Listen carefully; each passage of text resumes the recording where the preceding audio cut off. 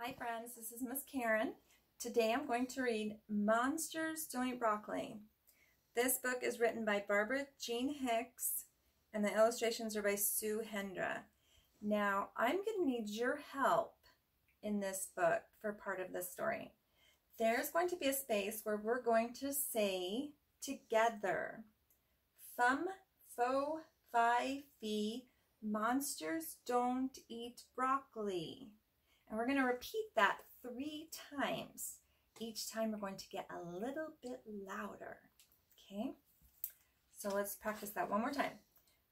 Thumb, fo, fi, fi. Monsters don't eat broccoli.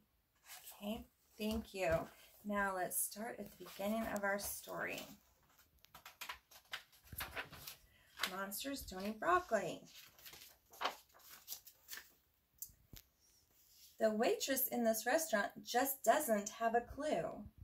Monsters don't eat broccoli. How could she think we do?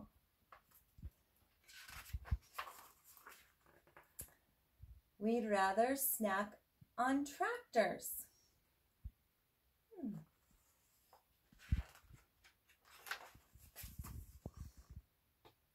Or a rocket ship or two.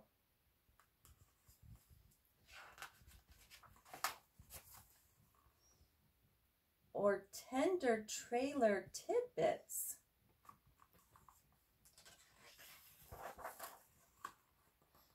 Or a wheelie steely stew. Fum, fo, fi, fee. Monsters don't eat broccoli. Fum, fo, fi, fee. Monsters don't eat broccoli. Fum, fo, fi, fee. Monsters don't eat broccoli.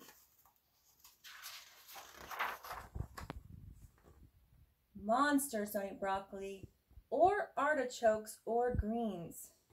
We can't abide alfalfa sprouts or slimy lima beans. But redwoods are delectable.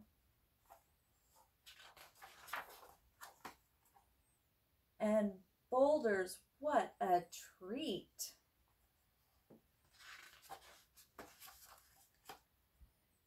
And a fountain so refreshing in this dreadful summer heat.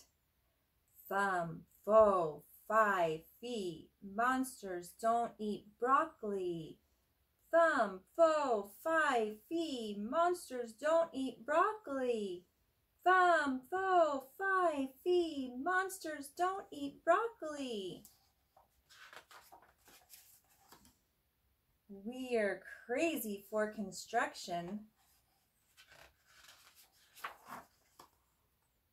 And we crave our fish and ships. But monsters don't eat broccoli. It will not pass our lips. You cannot force us monsters to eat vegetables we hate. Let humans have the garden. We will eat the garden gate.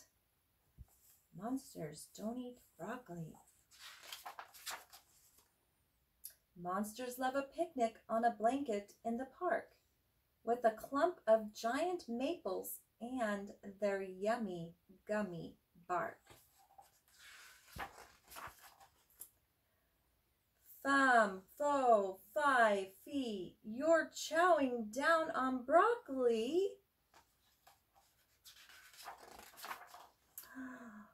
Say what?